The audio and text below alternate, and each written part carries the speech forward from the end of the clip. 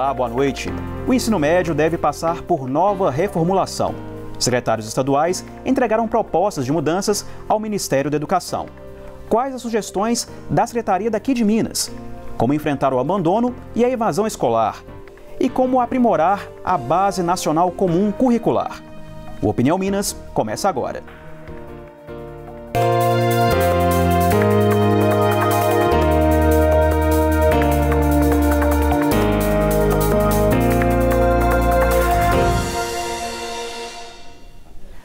Conselho Nacional de Secretários de Educação, o CONSED, a revogação total da lei que institui o novo ensino médio é completamente inviável. Em uma das propostas, os próprios alunos poderão escolher um itinerário para aprofundar o aprendizado, dando ênfase, por exemplo, às áreas de linguagens, matemática, ciências da natureza, ciências humanas ou ao ensino técnico. Para falar mais sobre o tema, eu recebo Roseli de Lima, que é diretora de ensino médio da Secretaria de Estado de Educação daqui de Minas. Boa noite, Roseli, tudo bem? Boa noite. Bom, muito se falou dessa reforma do ensino médio e falou-se em suspensão e até se mudou o verbo agora, né? Parece que fala-se em revogação. Tem até uma proposta na Câmara dos Deputados para revogar essa reforma do ensino médio. Então, para a gente esclarecer, para a gente começar essa conversa, eu queria saber em que pé que está essa situação o novo ensino médio pode ser revogado?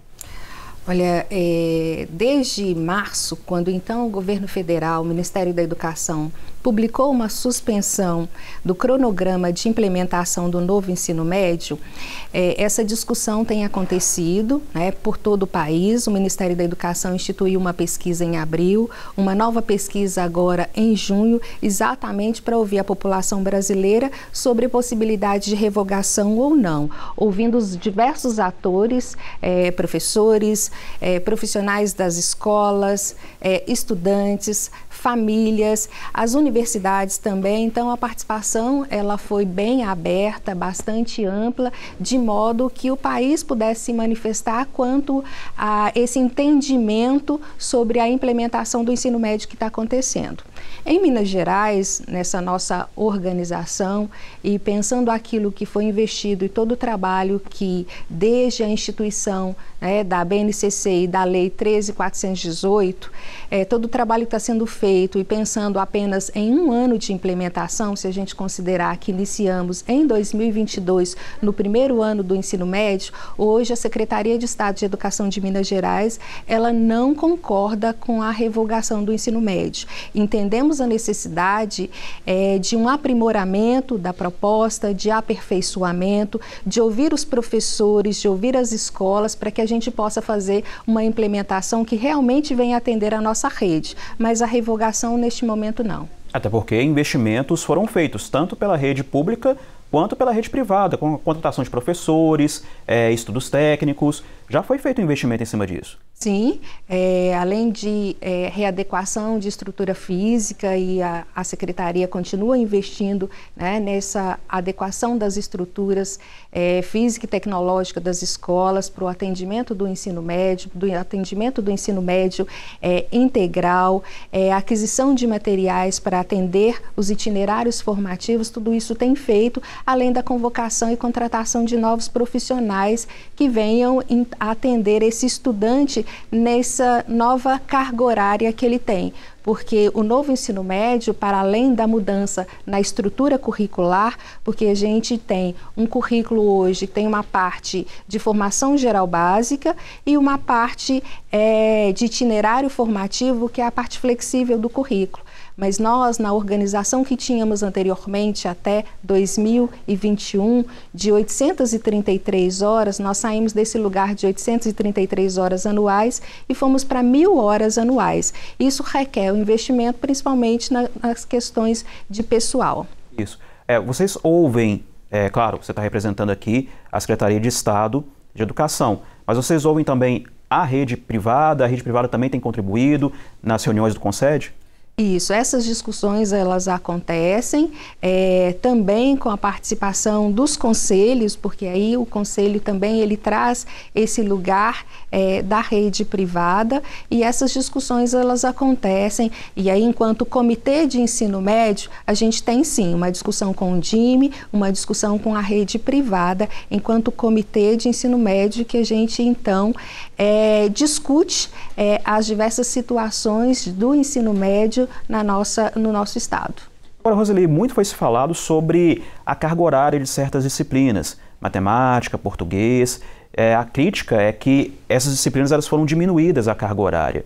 Como é que está isso? Pode ser é, revista essa carga horária para essas disciplinas? Outras disciplinas também merecem um pouco mais de tempo? É, os componentes curriculares da Base Nacional Comum Curricular, que são hoje para o ensino médio, nós temos 12 componentes, é, 11 componentes. É, nessa organização, é, eles sofreram sim é, uma diminuição do número de aulas semanais. Então, se a gente saiu do lugar, hoje a gente tem 600 horas anualmente para atender esses componentes. Antigamente tínhamos 833. Então, é, língua portuguesa, matemática, e aí vai ter ano de escolaridade que vai ser história, vai ser a geografia, ou a química, ou a física. Então, todos os componentes curriculares, eles sofreram sim uma diminuição de aulas. Mas, ao mesmo tempo, nós tivemos, nós temos os itinerários formativos com mais 400 horas anuais. E esses componentes curriculares, né, numa integração das áreas, é, a gente tem um outro trabalho de formação para esses esses estudantes a partir é, daquilo que está instituído pelo Ministério da Educação como eixos estruturantes dos itinerários formativos, esse trabalho de complementação ele é feito de integração. Então a gente sai desse lugar é, de trabalhar só a matemática pura ou só a língua portuguesa, mas a gente faz um trabalho integrado a esses componentes curriculares a partir desses quatro eixos estruturantes dos itinerários formativos com os aprofundamentos fundamentos por área de conhecimento. A população está sendo ouvida né, numa consulta pública para esse novo ensino médio. É, eu queria saber como que vocês têm participado. Queria saber primeiro o que, é o CONSED, que é, uma, é um conselho que você participa, não é isso? Exato. O CONSED é o Conselho Nacional dos Secretários de Educação é, que tem regularmente se reunido e eu faço parte desse conselho como participante do GT do ensino médio. O grupo de trabalho de ensino médio hoje ele discute né, a proposta que temos e como, é, e como podemos melhorá-la. Então estamos nesse lugar dessa discussão. Elaboramos na semana passada, entregamos ao Ministério da Educação um documento onde a gente então coloca é, quais serão essas possibilidades de ajustes e adequação da proposta que temos hoje. Isso é, foi feito várias reuniões online e por duas vezes nos reunimos em Brasília até o momento que foi na semana passada, quando nós tivemos a audiência com o Ministério da Educação para a entrega dessa proposta. Já temos uma perspectiva de quando é, esse documento vai ser analisado pelo MEC, de quando talvez o novo ensino médio possa ser retomado? Olha, é, nós estamos com o ensino médio em andamento. Então, o novo ensino médio a gente não parou, enquanto Secretaria de Estado de Educação, logo após o pronunciamento do Ministério da Educação com a suspensão do cronograma, o nosso Conselho Estadual de Educação se manifestou que em Minas Gerais a gente continuaria com a implementação, considerando até o respeito aos estudantes que estão nesse percurso. Né? O estudante começou lá em 2022 e ele merece né, que a gente gente dê continuidade ao que está sendo implementado e conclua o seu percurso. É, a entrega do documento ao Ministério da Educação, a gente, ele está sendo analisado e a gente espera uma manifestação do Ministério da Educação, conforme prevê o cronograma, é, até o início de agosto, quando então completa o prazo é, que ele publicou na portaria no mês de março. Rapidinho antes da gente ir para o intervalo, é, tem alunos que já escolheram os seus itinerários, seu percurso, aquelas matérias, aquelas disciplinas que são optativas? Sim, olha, é, essa organização nós começamos em 2021, quando então a escola pôde, para o primeiro ano, escolher as eletivas com as quais ela iria trabalhar.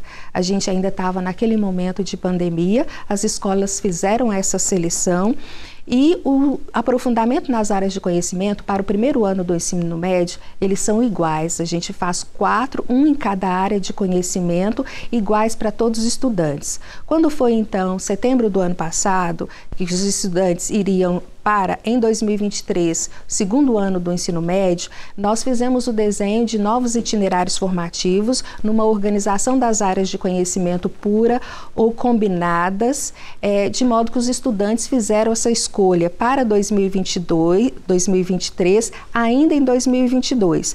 Da mesma forma que pretendemos fazê-lo novamente este ano ainda, para que os estudantes possam escolher aquilo que vão cursar no terceiro ano do ensino médio em 2024.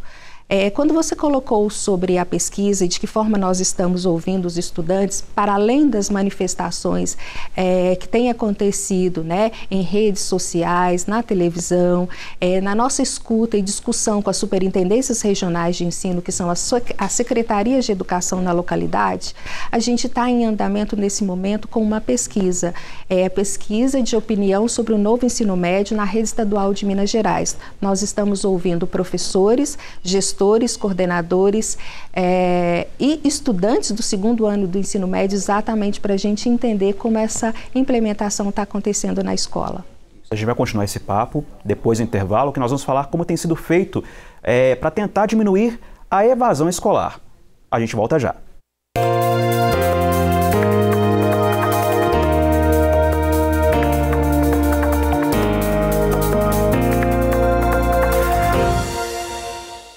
Estamos de volta com Opinião Minas, hoje falando sobre a reformulação do ensino médio. Para falar sobre a revogação ou não da lei e quais as propostas dos estados, eu recebo aqui Roseli de Lima, que é diretora de ensino médio da Secretaria Estadual de Educação de Minas Gerais. E Roseli, eu te convido para a gente assistir um VT aqui da, da casa falando sobre evasão escolar, que é um problema histórico, principalmente no ensino médio. Vamos ver? Bruna dedica tempo integral a Cecília, de apenas oito meses. A jovem de 20 anos também cuida de Urabi, de quatro.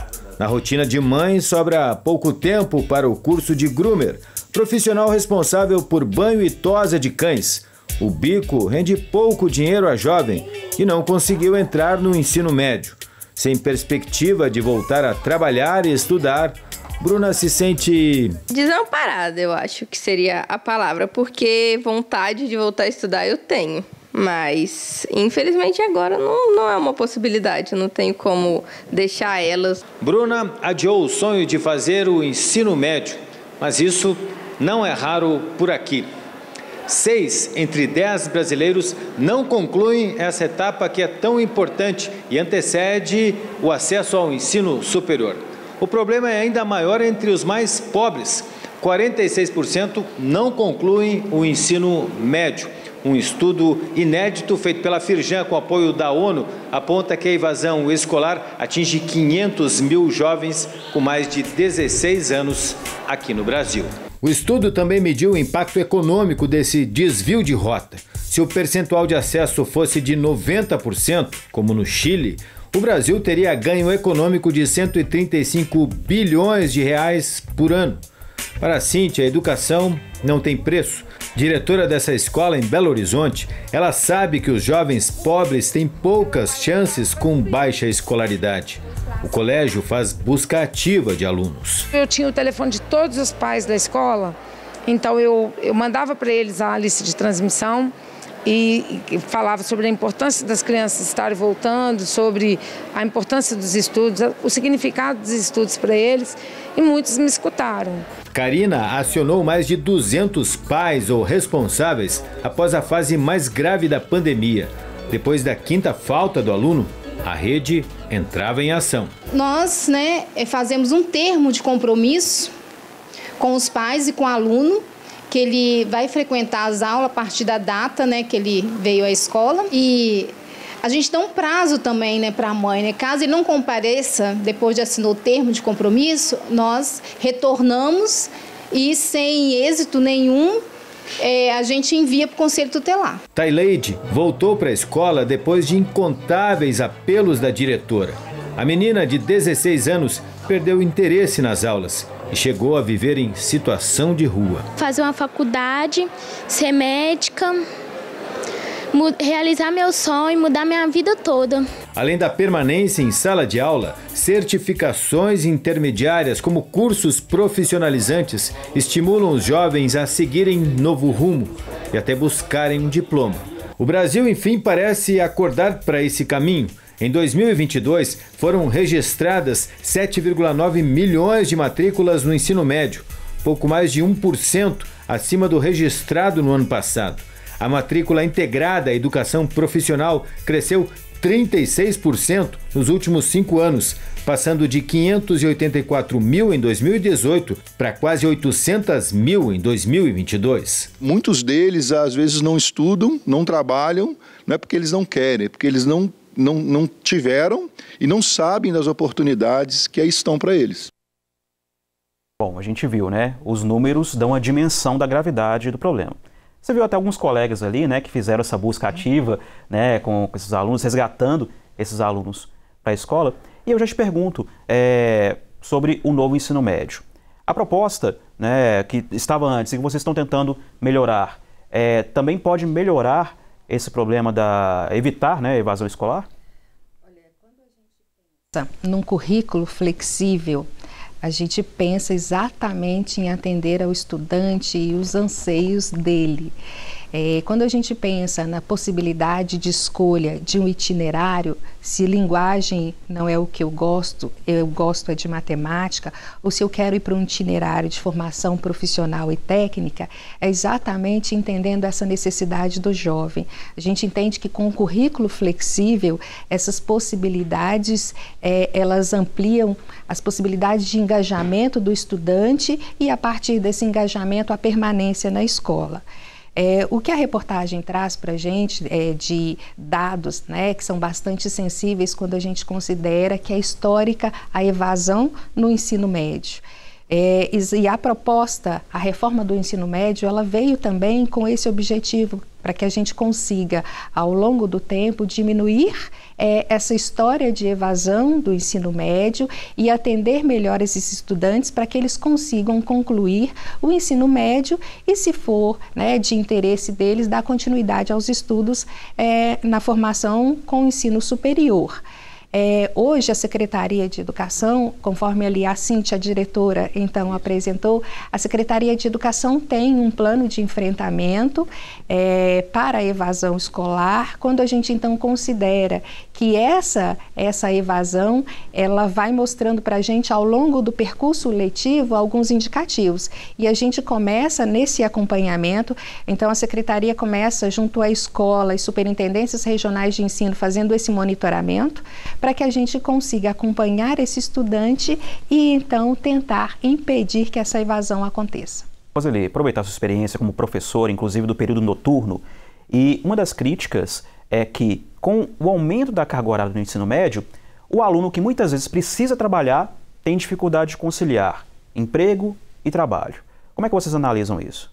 Olha, a discussão do ensino médio noturno é algo que está posto, que enquanto Secretaria de Educação é, e até mesmo no grupo do CONSED, a gente tem discutido com o Ministério da Educação, porque é um problema é, de generalizado quando eu considero assim é, os outros estados e as outras situações e os meus pares com os quais eu discuto o ensino médio noturno é, quando a gente então considera que nós ampliamos a carga horária de é, para 3 mil horas então eu saio do lugar das 800 833 para mil e esse estudante ele precisa trabalhar então, é algo que as propostas é, que temos desenhado estão frágeis, sim. A gente entende que nós precisamos melhorar a nossa proposta para o ensino médio noturno exatamente para atender melhor esse estudante trabalhador. Na verdade, eu tinha falado errado, né? na verdade, é conciliar é, trabalho com o estudo, né? na verdade. Isso. E a reportagem nos traz sobre o ensino técnico, que é uma boa notícia, está aumentando as matrículas do ensino concomitante, ensino médio com ensino técnico. O que, o Estado, o que a Secretaria de Estado da Educação tem oferecido nessa área do ensino técnico? Olha, a secretaria tem um programa que chama Trilhas. Né? Esse programa oferta é, uma diversidade grande é, de vagas pelo estado afora para que esses estudantes tenham essa formação.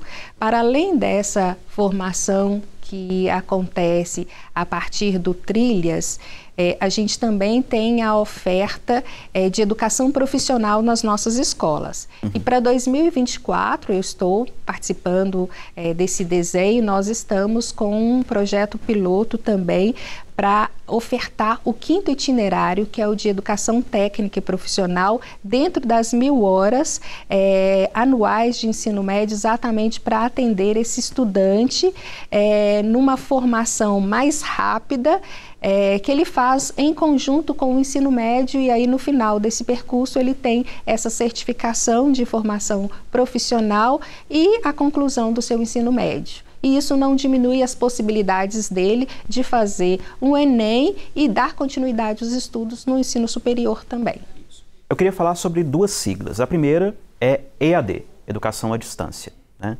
Como é que isso está dentro do Estado, dentro desse novo ensino médio? Nós temos aqui na casa o Se Liga na Educação, que continua, um projeto que começou na pandemia e continua. Então, falando do EAD, como que nós estamos hoje? Olha, a legislação prevê que para o ensino médio é, a gente pode ter até 20% dessa carga horária ofertada à distância.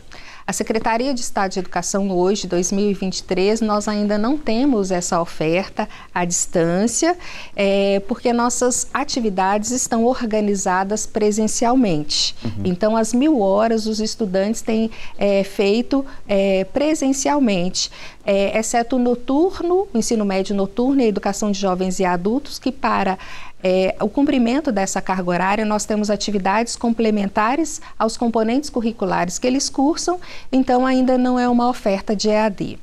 É, a estrutura para a oferta de educação à distância, a gente ainda está em desenho, fazendo um desenho, exatamente entendendo que vai existir, existem estudantes que têm essa necessidade e a gente ainda está estruturando a nossa rede para que futuramente essa oferta pode acontecer.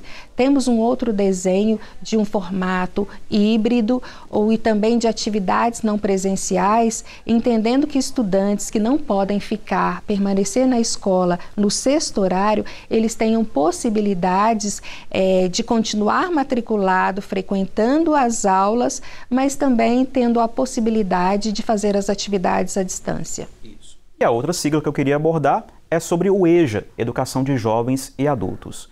Para o novo ensino médio, esse público também é contemplado? Sim, a educação de jovens e adultos, ela foi a primeira até concluir esse processo por ser semestral. Então nós iniciamos com o novo ensino médio com itinerários formativos para a EJA em fevereiro de 2022 e a primeira turma que iniciou lá em fevereiro está concluindo exatamente nesse momento é, o seu terceiro período, concluindo o ensino médio a partir desse percurso formativo com os itinerários formativos.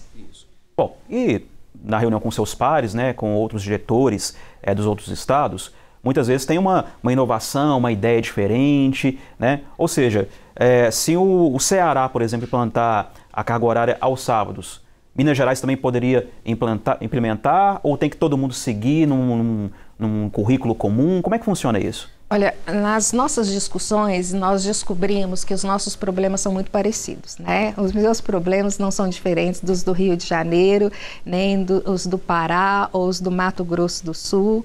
Então, o que a gente percebeu é que a gente precisava é, chegar num ponto comum de carga horária onde cada estado conseguisse se organizar conforme a sua realidade. E a, e a, proposta que foi apresentada ao Ministério da Educação, enquanto concede uma proposta discutida né, entre as secretarias de educação, foi de 300 horas de carga horária, dentre essas 3 mil, é, 300 horas elas serem flexíveis para que cada estado se organize conforme a sua realidade.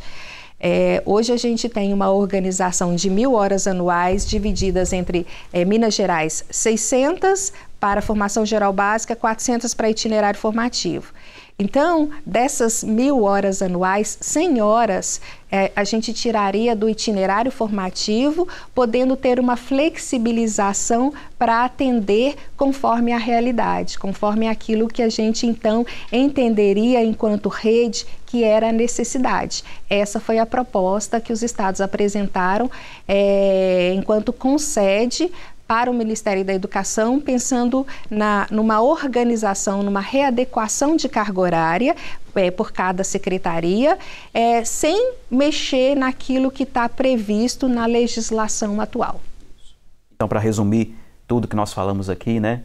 Revogação não. Né? Revogação não. Isso a gente é, entende que é um passo atrás e a gente tem que caminhar, melhorar sim é, a proposta, mas sem que tenhamos que revogar é, e voltar ao que tínhamos antes. Hoje a, a lei é, e a, o, o ensino médio, né? Ele está posto para que a gente possa seguir em frente e não para voltar. Eu agradeço então Roseli de Lima, que é diretora de ensino médio da Secretaria de Estado da Educação, professora, né? Você, qual, qual, qual disciplina você seleciona?